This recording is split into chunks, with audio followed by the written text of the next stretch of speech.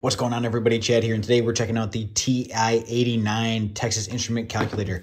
Let me start with, this is my lifetime calculator. I got this when I was getting my electrical engineering degree back in 2010, and this thing is still going strong. Definitely got through my four-year degree with it. Uh, probably wouldn't have without it, and it's still great. There isn't a single button on here that doesn't function. It does exactly what it should. As you can see, the keys have not worn out at all.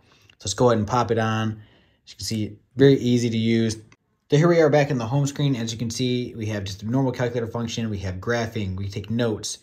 Uh, I gotta say, out of all these, probably the polynomial and the graphing function I used the most, except for EE Pro when I was doing circuits.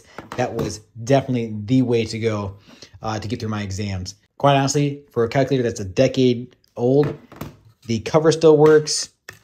The functions still work, all the keys still work, I would definitely highly recommend.